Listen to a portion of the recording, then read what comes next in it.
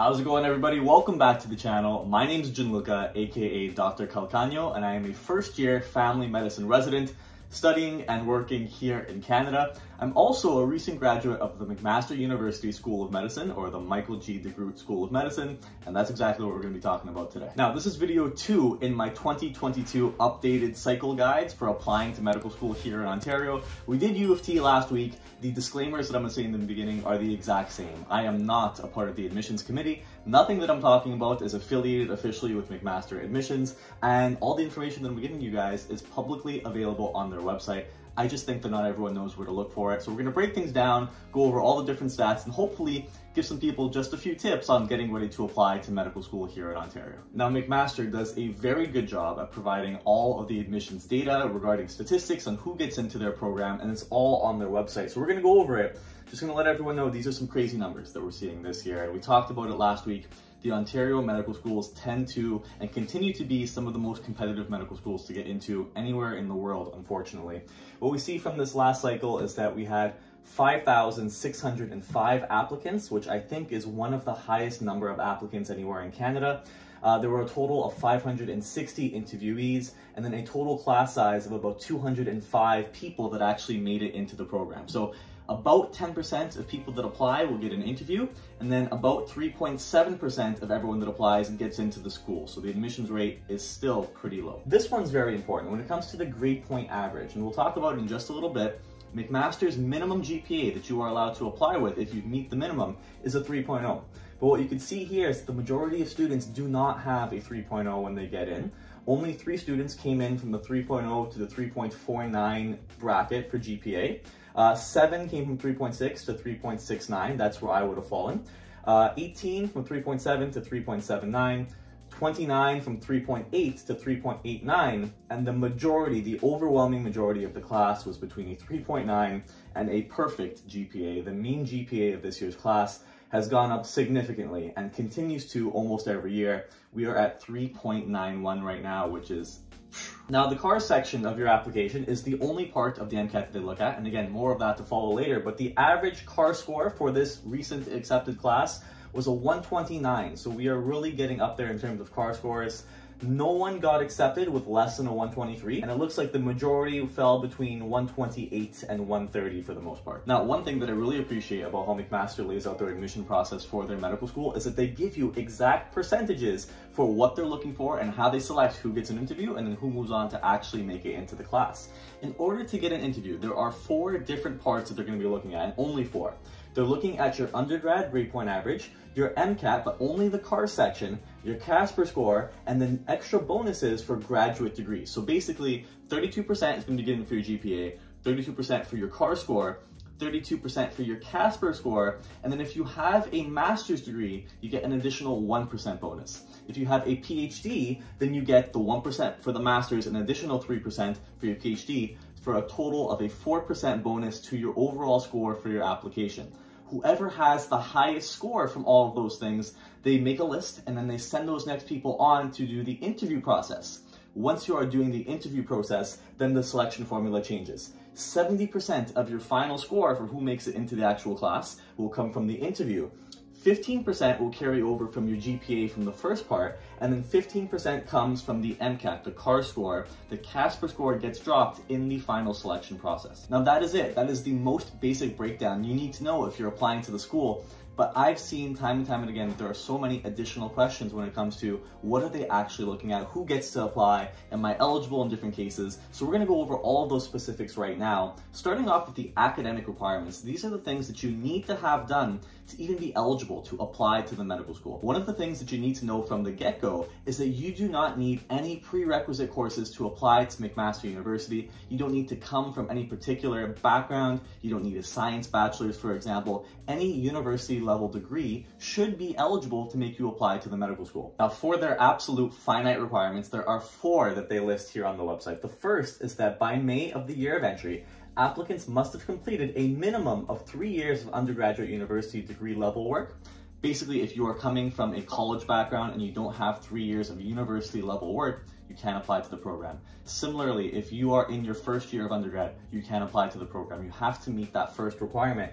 And let's say you get in partway through your third year. They also say on here that by the time you get accepted into the program, before the class starts, you need to submit your grades showing that you passed the minimum 30 credits that is outlined by their admission requirements. The second thing you have to know about is the GPA. Now, we already talked about the GPA is worth 32% of your entire application before the interview process, but you also need to know that there is a finite lower limit, a cutoff of a 3.0 you need a 3.0 out of 4 on the OMSAS scale in order to even apply to McMaster, and I don't think there are any exceptions as far as I know. If it's less than a 3.0, you probably cannot even get into the school from everything that's been shown publicly. And the way that they use the GPA calculation is that they look at all of the courses that you've ever taken at an undergraduate level. That includes summer school courses, that includes supplementary courses, and they weigh them all equally. All the different courses from all of the different years, regardless of first year versus second year versus third year, they're all looked at exactly the same. They'll add them all together, they'll divide by the total number of courses that you've taken, and that will give you your average GPA and what they will use to determine both the cutoff and when you're actually using the GPA competitively for the rest of your application. Now, there are two special exceptions to note here. The first is for pass and fail or credit and no credit courses.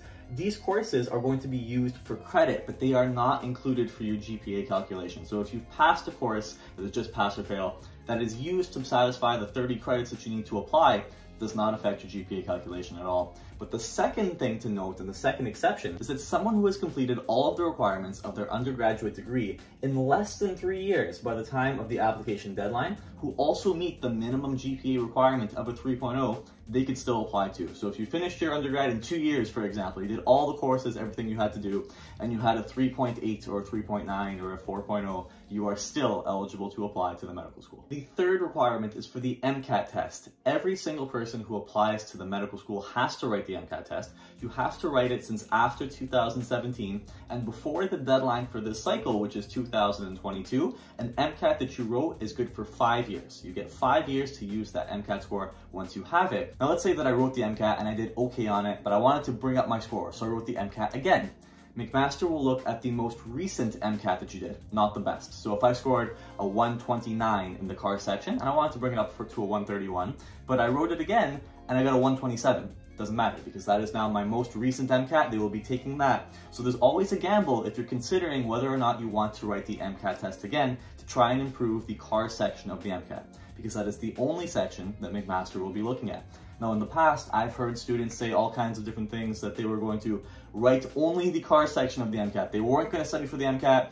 They were just going to go and write cars so they could try and apply. And that is definitely a strategy that some students have used in the past.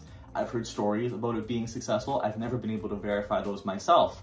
My advice for anyone considering doing this is that I'm of the mentality that if you're going to write the MCAT test, just take the summer, take your six months if you don't have a summer off where you can study for it, and do the MCAT right. Use a real study schedule. I would not advise any students that I'm working with to just write the MCAT test for the CARS section because medical school admissions are so competitive and you just need to try to make yourself as competitive of an applicant at as many different programs as possible when you write the MCAT. And then the fourth thing that you need to know when applying to McMaster Medical School is that every single person who applies needs to write the Casper test. And I've done multiple videos on the Casper test in the past.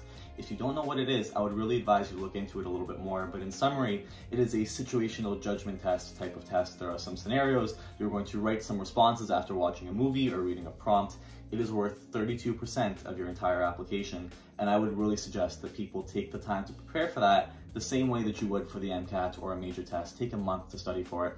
32% is such a large chunk of your application.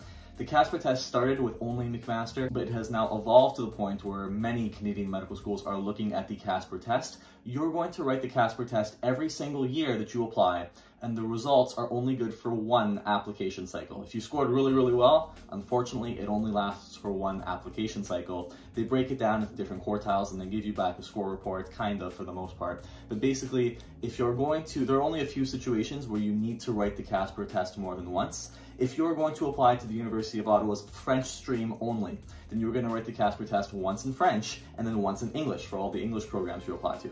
Finally, there is a loophole exception where if you are applying to medical school down in the States, then technically you could write the Casper test up to three times that year. It'll be one for the American schools, one for the Canadian schools, and one for the Canadian French schools. Now for the most part, that's it. That is everything that many students will need to know when it comes to applying to McMaster Medical School. There are a lot of other small little details. Please go and look up on their website directly to see the official guidelines for applying but there are also four additional categories for applicants looking to get into the medical school. There is the best stream or the black equity stream, the indigenous applicants, the international applicants, and the military medical training program or the MMTP stream. I myself have not applied through any of these categories and as a result I can't really talk about them much but there is a pretty extensive breakdown for some of these categories that you guys can go and look up online by yourself. One thing that I will say though for many international students from other countries that are looking to apply to medical school here in Canada Canada and who have asked me what their odds of success are during the application cycle, I'll just say that for the last two, three, four cycles, and even if we just look at the last cycle for McMaster,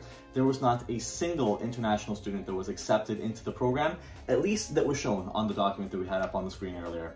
And therefore, just from everything that I've seen, your odds of success as an international student really are not the best. But anyways, everyone, that is everything that I have to say for the med school admissions guide for McMaster University here today.